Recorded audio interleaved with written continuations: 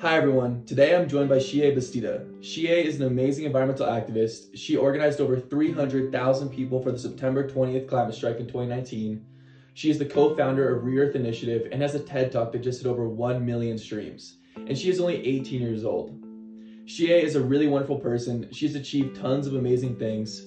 Xiye, welcome to the What's Your Juice podcast and thank you so much for coming on. Thank you so much for having me. What is the coolest opportunity you have received because of your activism? The best thing that's ever happened, I think, is like the fact that I got to organize so many people for the climate strike in 2019 because that power of having people on the street and just like 12 kids organizing it is just amazing and I'm super proud of that.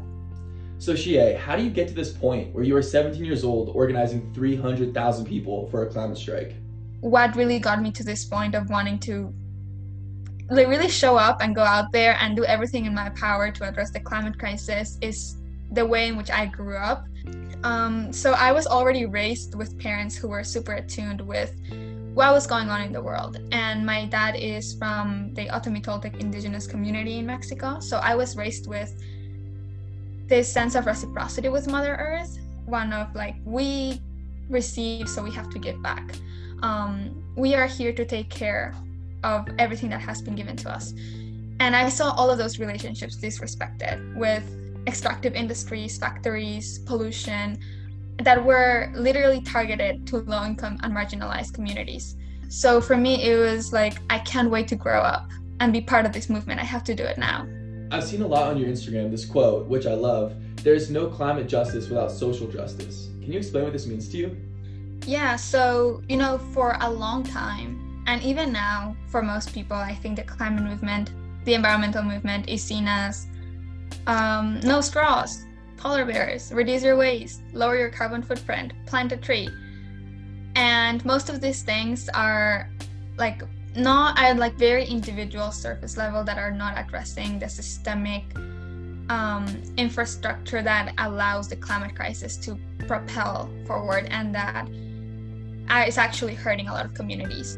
And I, what I want people to know is that the climate movement didn't start 50 years ago with the first Earth Day, uh, with Sierra Club and 350 and all these white environmentalist groups, conservationist groups.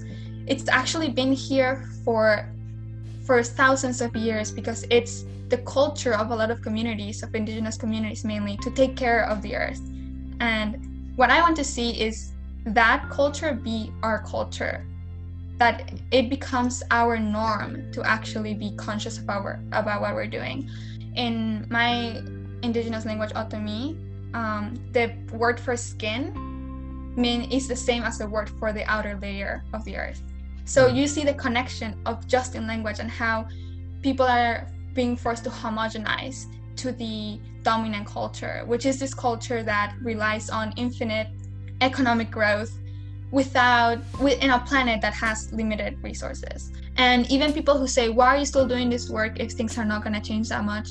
It's because the difference between each degree is huge.